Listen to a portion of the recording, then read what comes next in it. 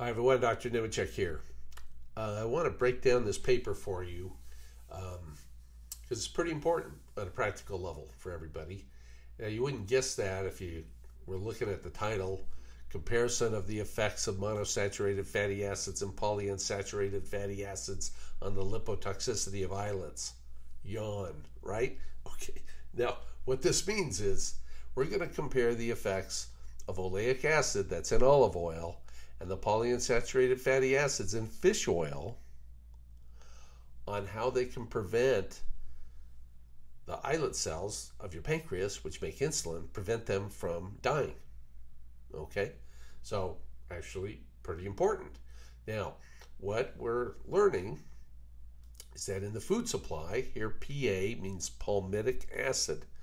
And if you look at your packaged food you buy, there's lots of palmitic acid out there. It is a artificial shortener, okay, and uh, they use it in all sorts of products. It's in uh, it's very high concentration in uh, uh animal meats, in particular beef.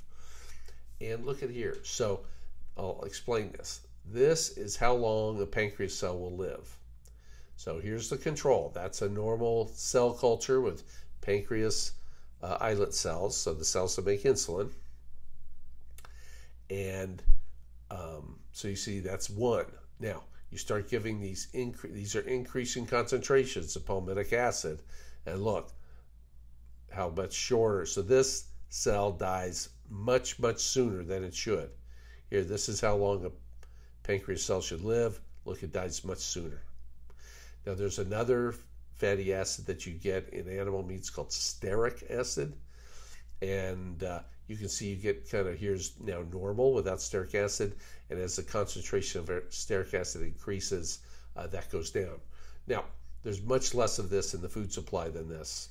Okay, this comes in natural foods. This is added to all your all your uh, processed packaged foods. Now, as an example, another example, if we look down here, if I get this thing to move. Okay. OA is oleic acid, super high concentration in olive oil. So again, this is how long your pancreas islet cells will live. And when you have increasing concentrations of oleic acid, doesn't harm them. Look, it actually may even improve it. Looks a little higher there. It's not significant, but certainly doesn't make anything worse, all right? Now, let's go to the next slide. What's really important is will olive oil and fish oil protect you? So here's the vehicle, meaning you know how they set the, the plates up. You ignore that. Now, here is your palmitic acid. So you have this dramatic reduction in lifespan, okay, when you're getting processed food. Processed food kills cells in your pancreas. Okay? The cells that make insulin. Now, that's what P is.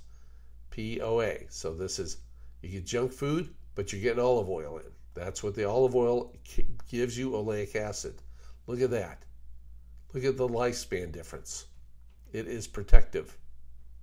Here, EPA, DHA, those are the two individual uh, polyunsaturated fatty acids in fish oil. So these two are so you got P, you're eating junk food, and you're still getting your fish oil.